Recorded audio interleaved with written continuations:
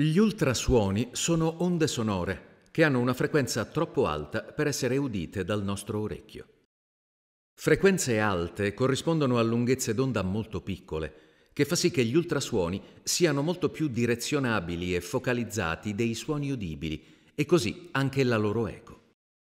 Se fossimo capaci di emettere ultrasuoni e riceverne l'eco, potremmo ricostruire un'immagine sonora del mondo intorno a noi, come fanno i pipistrelli e i delfini. L'ecografia sfrutta lo stesso principio per esplorare gli organi e i tessuti dentro il nostro corpo tramite una sonda che è in contatto con la pelle ed emette ultrasuoni. Tutti i tessuti, attraversati dalle onde ultrasonore, producono echi.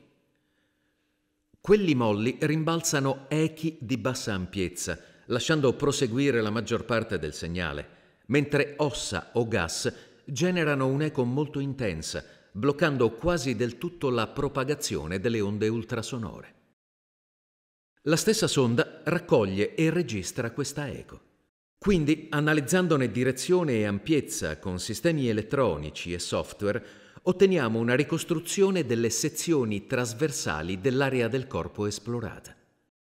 Queste sono immagini bidimensionali, in cui l'intensità dell'eco ultrasonora prodotta dai vari tessuti è rappresentata con delle gradazioni di grigio. Con l'ecografia, oltre a ricostruire la forma e le dimensioni di un organo, si possono ottenere altre informazioni. Per esempio, con l'eco color Doppler vengono rappresentate con i colori rosso e blu la direzione e la velocità dei flussi sanguigni. Se si utilizzano mezzi di contrasto, come nel caso del cuore, si riesce anche a tracciare la sua funzionalità nel tempo. L'uso dell'ecografia non presenta alcun tipo di rischio per il paziente, poiché alle frequenze utilizzate per l'imaging clinico gli ultrasuoni non producono danni biologici conosciuti. Per questo, oltre che per le indagini sul feto durante la gravidanza, gli esami ecografici oggi sono di uso comune in quasi tutti gli ambiti medici dall'ortopedia alla cardiologia, dalla chirurgia all'anestesiologia. L'evoluzione più recente è rappresentata dall'ecografia tridimensionale, che registra l'eco non più su un piano bidimensionale, ma su un volume, producendo quindi un'immagine in tre dimensioni. In alcuni casi può restituire anche il cambiamento dell'immagine nel tempo, ad esempio quella di un feto che si muove nel liquido amniotico.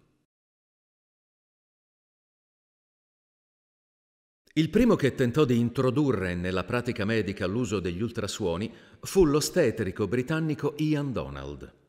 Donald era stato un ufficiale medico della Royal Air Force durante la Seconda Guerra Mondiale e aveva avuto modo di apprezzare l'efficacia dei sonar sviluppati dagli alleati per identificare i sommergibili tedeschi. Finita la guerra, immaginò di utilizzare lo stesso principio per creare un'immagine del feto ancora nel ventre materno e scoprirne eventuali deformazioni o malattie. In quegli anni era emerso con chiarezza che l'uso dei raggi X per gli esami prenatali poteva provocare danni irreversibili sul feto. Nel 1957 Ian Donald e Thomas Brown, ingegnere di un'azienda per lo sviluppo di strumentazione scientifica fondata da Lord Kelvin, riadattarono un apparato a ultrasuoni utilizzato per testare le saldature degli scafi delle navi e realizzarono un primo rudimentale ecografo. Risultò da subito evidente che l'ecografia non solo avrebbe permesso di seguire le gravidanze, ma aveva applicazioni potenziali in molti altri ambiti medici. Il suo uso, però, cominciò a diffondersi negli ospedali americani e britannici solo a partire dagli anni 70.